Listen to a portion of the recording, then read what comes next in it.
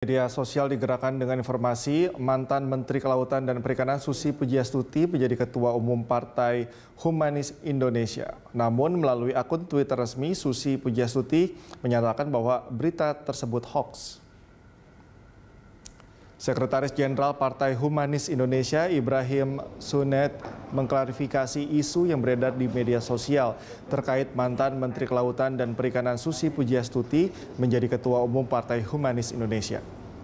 Ibrahim menegaskan bahwa Susi Pujiastuti belum menjadi Ketua Umum Partai Humanis Indonesia atau PHI dan bukan deklarator.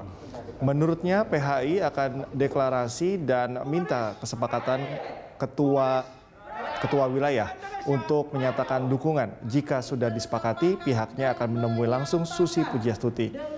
Namun Susi melalui akun Twitter resminya mengatakan bahwa berita dirinya sebagai Ketua Umum PHI adalah hoax. PHI berharap mantan Menteri KKP Susi Pujiastuti dapat menerima tawaran menjadi Ketum PHI.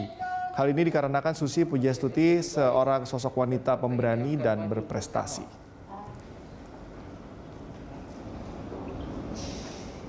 Sebuah partai baru yang apa namanya misinya itu kan humanis. Ya mudah-mudahan kami nilai bahwa beliau sangat humanis. Mudah-mudahan cocok dengan partai kami dan mudah-mudahan beliau menerima sebagai nakoda dalam partai ini. Alasan lain apa lagi Pak? Kenapa memilih uh, Ibu Susi sebagai ketumnya? Memilih Ibu Susi ketua umum itu adalah dia kan seorang ibu. Jadi humanis itu lebih enak, lebih santun kalau seorang ibu. Dan sampai hari ini kami belum punya pilihan lain, hanya beliau. Jadi kalau beliau menerima, alhamdulillah. Kalau tidak